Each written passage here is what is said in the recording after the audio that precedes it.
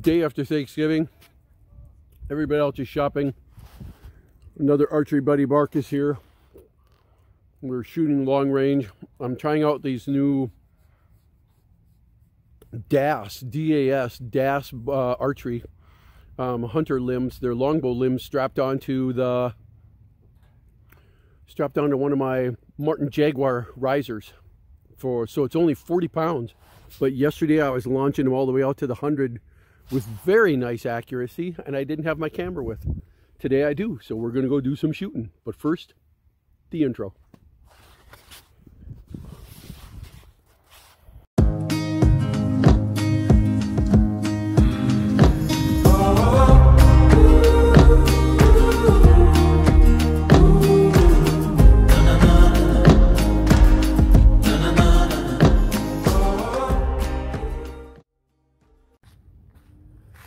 Hey guys.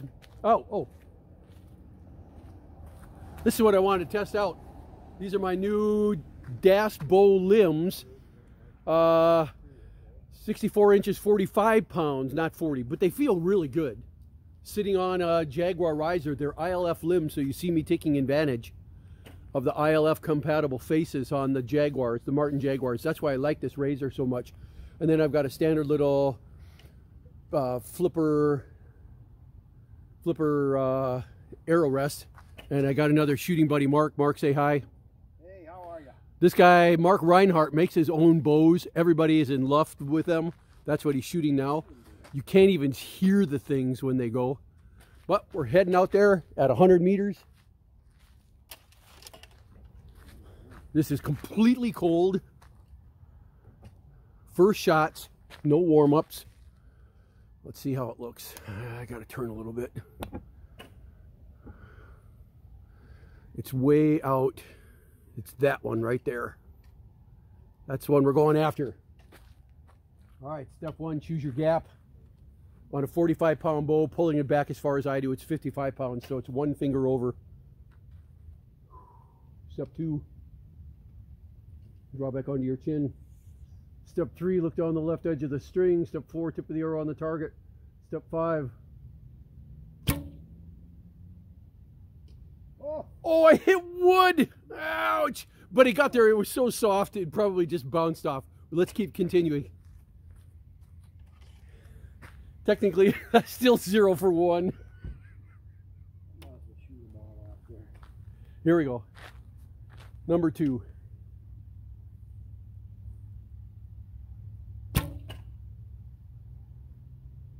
Ooh, I think that went over. I don't know where my arrows are going. I don't know if I'm short or far. We're going to find out on this first round. We're both shooting for the first time right now. Zero for two.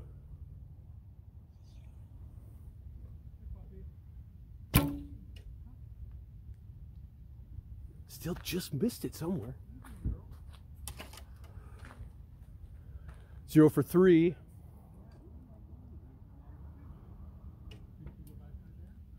Tough morning after Thanksgiving.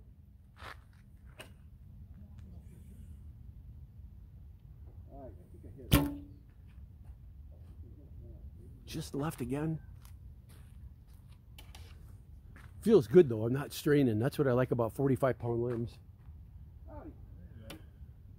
It's like other guys are showing up to do penance day after Thanksgiving. Zero for four. She washed up a little bit. That's about as close as she's Must gotten. be the new archery down here. Yeah. Ah, one for five. What you got there? Oh, that's not- That felt good. Who makes this one? Oh man, Chinese. dude, I like that.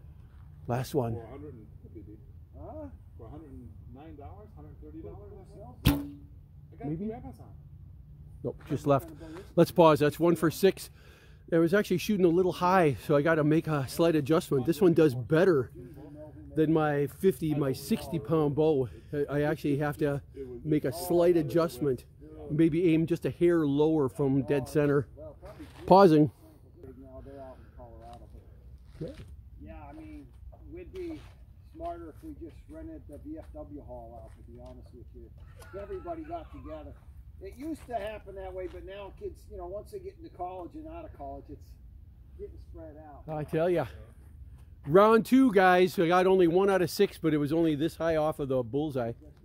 Let's try. Let's shoot, guys. Dan, I don't use it all the time. I usually bring my Zero for zero. But today I I'm wish like, I knew Listening for the thunk.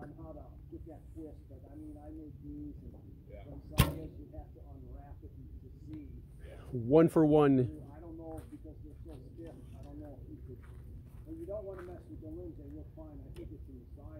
If I do better than three out of six, we'll go look at them. One, one for one now. it's, it's more or less of a wall. I take it out once in a great while to shoot. I mean, it's good that it's not or twisted off. Just right. Ah, it's set, it might help it, but if they were both the same way, that thing it's so fun to see them go that far in the air. That's why it usually sits. It doesn't One for two. I just strung it looks last cool as night. hell. I like that. Like, Whatever that plastic is, it's cool. Yeah. I don't even look to see if you see on the belt. Two for three. Yeah. No, I'm, I've got to get myself a good. I mean, all for three.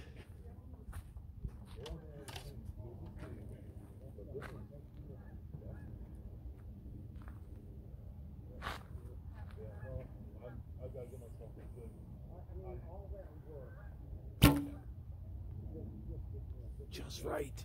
Two for four.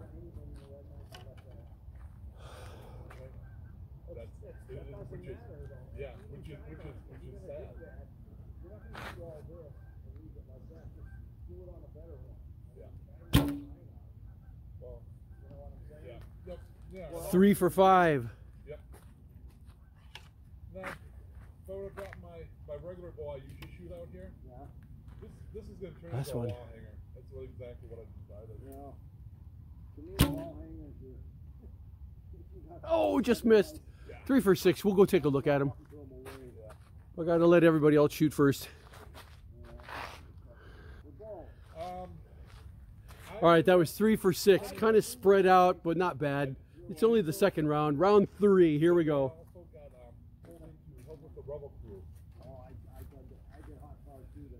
I, got nothing to blame. It's just warming up. It's a perfect day. A little damp, but not raining. Calm winds. Okay, here goes. Zero for zero. Yeah, you end up all booked up. You might not want to do. I think They were a bunch of. They were a bunch of different. You know.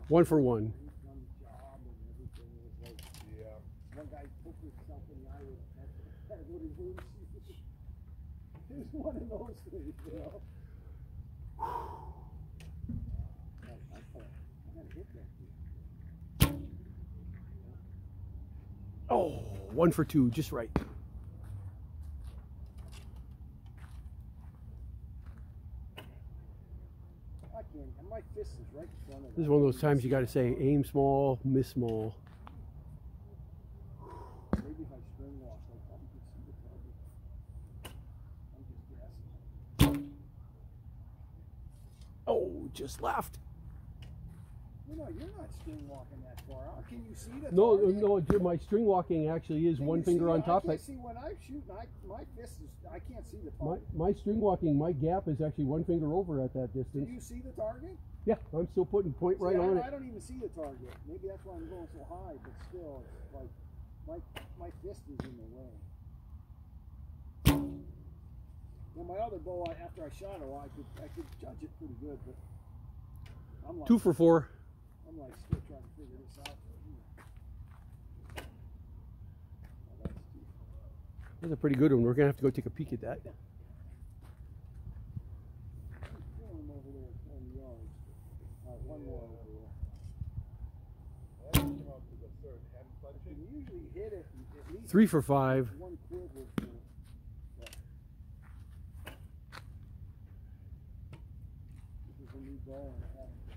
This is the one that matters. This decides if I'm making progress or not. Three for five.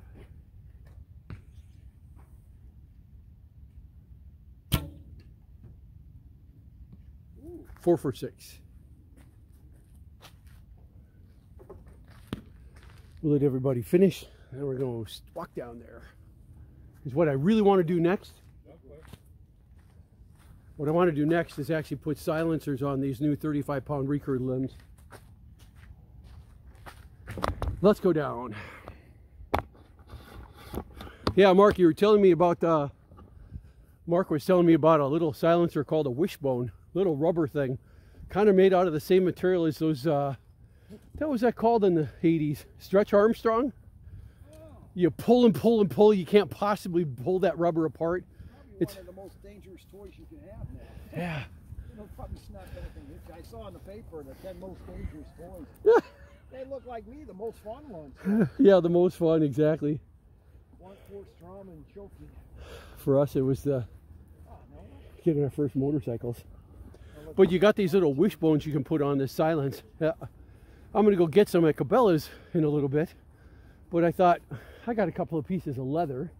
I'm gonna just try throwing some leather on and see what it does. You ever use uh, cat whiskers? You know Yeah. it looks good. You got paracord? Yes, Okay. make them out of paracord. Hey, wait, let's take a look. Take the inside of the paracord out and tie it on that way. There's the 90 meter mark. There we are, round three today with that bow with the DAS limb sitting on the Martin Jaguar riser. That ain't bad for barebow. All right, let's pause, pull them and go shoot. Or this whole this whole lesson is going to take a course change and it's going to be about putting those little silencers are because Mark Reinhardt's saying he knows how to make a little mini silencer out of what paracord you said? Yeah, it, it, pretty, you take the inside out and then uh, Oh, string, and after you shoot it, throws to a puffball. So you use the filament that's inside the paracord. No, you don't use the inside. You get rid of the inside. Oh, It's usually the outside, and you know it's interwoven, but as you shoot it, it, it will puff right out. And they're much, Hmm. I'm not gonna say they're totally waterproof, but yeah. I'm gonna try the leather first. I mean, if you got paracord, Okay. What we're really doing today is testing out this cheap $79 Amazon riser that's ILF compatible and ambidextrous. Left side, right side. It had 20 pound limbs, just cheap. They already took a set, but what I did do was go out and buy some nice Hunter Deluxe 35 pound recurve limbs, set me back 125 bucks each. Uh, I had a new string on there that looks like it changed a little bit. Let me pop it off and twist it a little bit. I need about another half an inch of brace on here. You're going to see me do something what everybody hates to do, which is take it off by my I got my a leg. stringer if you want a. Nah. I'm going to put 10 twists in it. Put it back on. Aha! First arrow, boom. Oh, you got it? Yeah. Good. That made the. That's on film. Let's watch Mark a little bit more. Coming in. That looked pretty good. Now, what I'm expecting, guys, is there's going to be a lot of, a lot of twang from this, a lot of string slap up here, and I'm going to try to quiet it out. With let's see if I'm doing this right. I'm going to get a lot of string slap right along the surface and I'm going to try to quiet it out by putting a little makeshift leather wishbone right here and right here. But first we got to hear how loud it is. Here goes. I put three out there. We're shooting right off the right off the shelf on this side.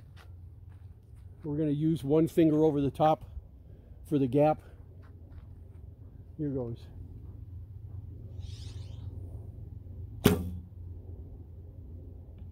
Got it! First try! I tell you, Hunter Deluxe limbs. You gotta love these things. Let's do another. Poundage on those, Mark. What's that? What's the poundage on those? Uh, 35, but it says it's 35 for a 62 inch bow. So it's probably for a, what's that, a 21 inch riser? I've got it on a 17 inch, so they're gonna seem stiffer. Yeah, they'll be a little more. Oh, pulled that right. You can hear that slap. These guys are cool enough. I'm going to put all six out there. Like I said, $79. Oh gosh, it feels so good to draw too.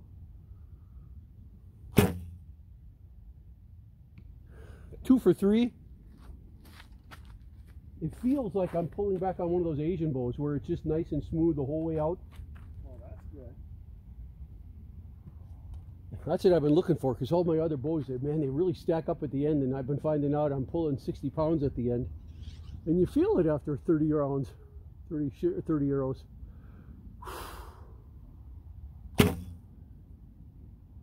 Just to the left. It shows up even more on smaller bows. Stack. Yeah, it happens faster, doesn't it? All right, we're three, three for four, two for four.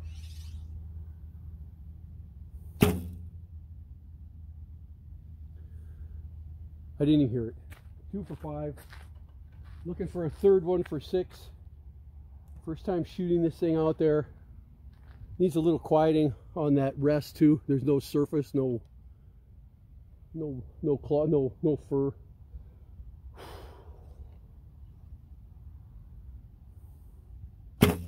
maybe?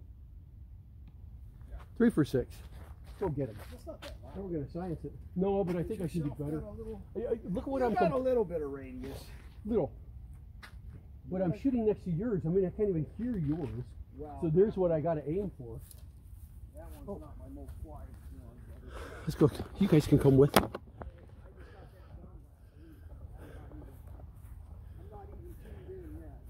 find yourself an archery club guys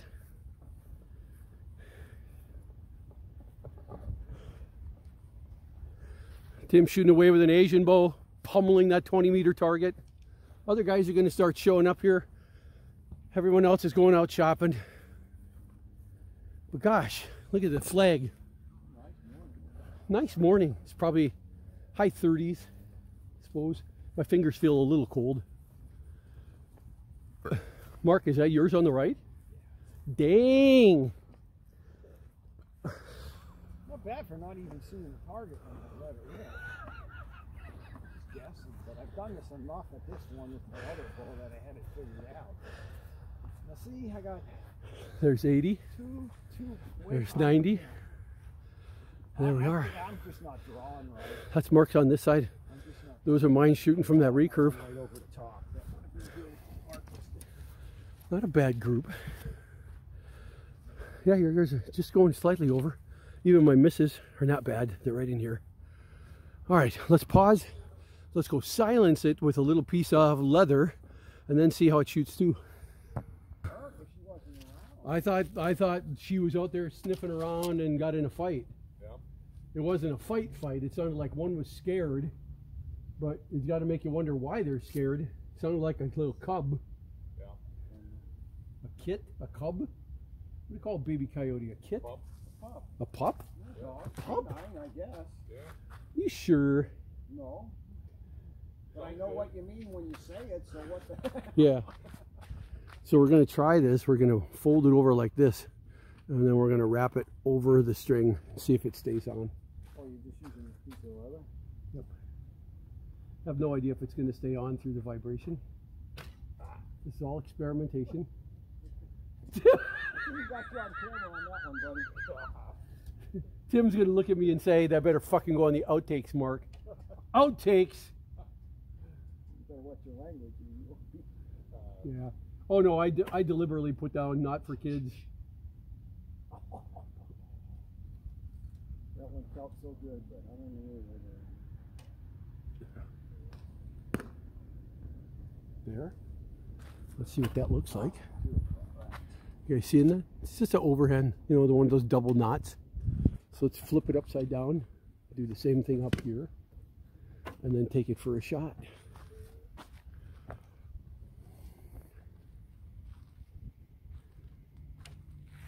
Got one more piece. Is that it?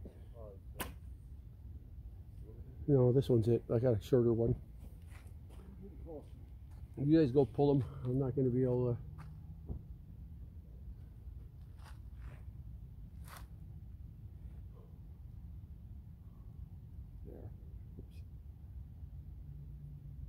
Did watch a couple of YouTube videos on trying to put those wishbones on, Mark.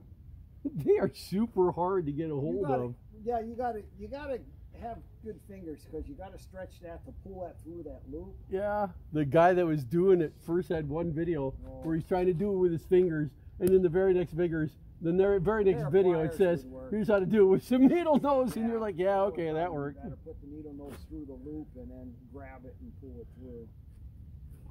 You know, like you're making hopper right, hopper legs out of uh, a turkey feather. There we got another one. I'm gonna let Marco pull his arrows, and then we're gonna take it for take this for a ride. So I'm gonna hit pause.